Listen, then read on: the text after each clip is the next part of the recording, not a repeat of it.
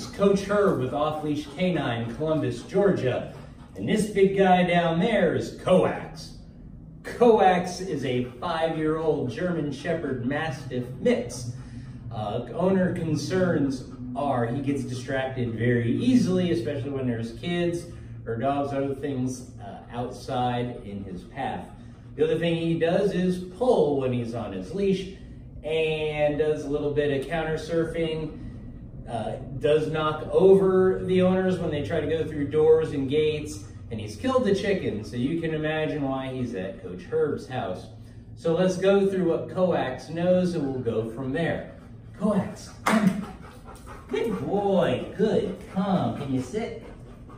Oh, well, that's down, that was pretty close. Can you sit? Can you sit, sit, sit? Oh, that's down. Come, come here, boy, come here. Good boy, can you heel? Can you heel? Good heel. Good boy, heel, heel, heel. Well, we're getting close to there. Sit, can you sit yet?